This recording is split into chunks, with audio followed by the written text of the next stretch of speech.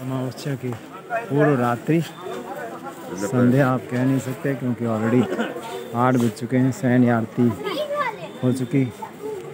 भूतेश्वर महादेव की और श्री चक्र तीर्थ की आरती संपन्न हो चुकी है, ये श्री चक्र तीर्थ के दर्शन। सुबह साढ़े चार बजे तिथि लग रही है।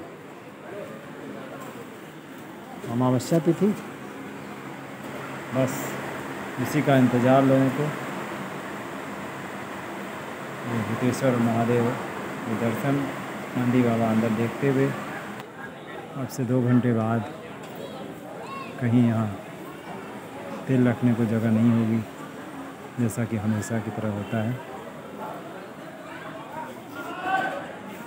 श्री चक्र तीर्थ की आरती अटेंड करने के बाद वापस श्री राम साधना आनेक की तरफ़ लौटते हुए।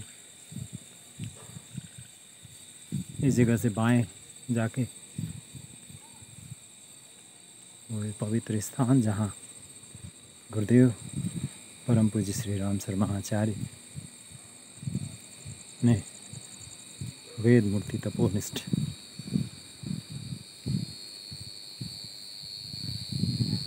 दो पुरुष चरण किए। और कुछ अपने साहित्य का कुछ हिस्सा यहाँ उसका लेखन भी किया और जो उनका तब चलता था, वो सीधे चलता था।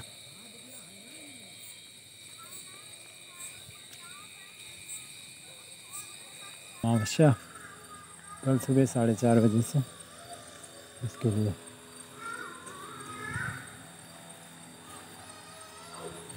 बढ़िया, आते हुए।